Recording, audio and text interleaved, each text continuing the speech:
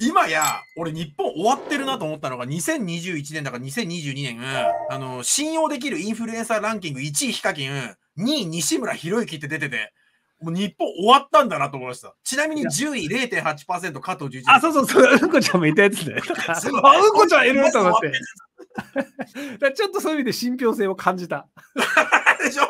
俺とひろゆきさん入っちゃダメでしょ？なんかそうね、だってひろゆきさんは放送のタイトルに、なんかね、酔っ払いのおおっさんがね、ただダラダラ喋ってるだけですってつけてんのに、なんか担がれてません？嫌でしょ？逆に。いや、だから、その、本当にまともな大人がいなくなったんだなって思うんだよね。ね。じゃあ、代わりに誰っていうので、僕、ヒカキンさん1位は本当に良かったと思うんだけど、うんじゃあ、そのそれ以外の信用できる大人って誰って言われると、うん。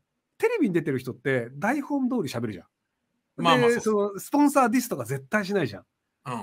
うん。で、その昔そういうのをやりそうだったタイプの人でマツコ・デラックスさんとかいたのね。ああ、尖。ったことを言ってたんだけど、最近もう言わなくなっちゃったのよ。うん。やっぱそこのもうテレビ業界のルールに馴染んじゃったから、で、うんその、さえっと猿岩石の、えっと有吉弘行さん、うんあの人も昔は尖ったこと言う系だったんだけど、今はそういうの言わなくなっちゃったっていうので、う局そのなんか、尖ったことを言う人がどんどん大人減ってるってことな気がするんだよね。でもさ、ちょっと俺一個言いたいんだけど、いや、そろそろ丸くなれよと思ってるんですよ、俺、ひろゆきさんに。あだって最近も、最近もツイッターでなんか喧嘩してて、で、いつ丸くなんのって、俺は36とか7で、でいや多少若い頃に比べたら、あまあ確かにそうだなと。矛収める時あるじゃないですか。はいはいはいはい。本当西村博之、もう20年前から変わんねえから、あ、だから そそこでね、丸くなれよと思ってるんですけど、あの、気づいたんだけど、ある程度売れるようになると、うんテレビの仕事来るじゃん？で、そうすると大体みんな会ったことある人で共演者になるから、悪口言えなくなるのよ。いや知ってる人の悪口って言いづらいじゃん。うん。で僕、別にほら、あの基本テレビじゃないし、リモートだから別に親近感もないから、あのハゲとかって別に言えちゃうのよ。仲良くする気もないし。っていうので、多分、だからその知名度がある割に、実はその知り合いが少ないから、多分あんま変わってないんだよね、僕はポジションが。ずっとっすもん。何にも変わってないから、ひろゆきさんのスタンスって。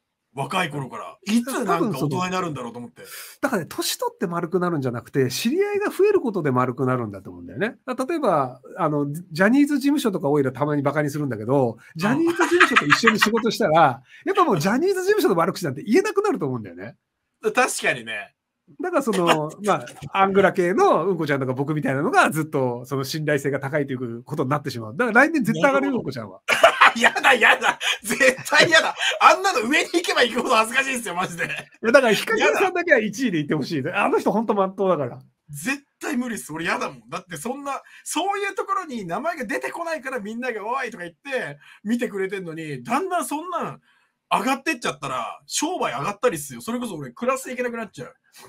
いや普通に暮らせるんじゃない？いや、無理っす、無理っす。俺やっぱね、そのアンチヒーローだからこそ生きていける部分があるんで、無理っすよ。ああ。チャンネル登録よろしくお願いします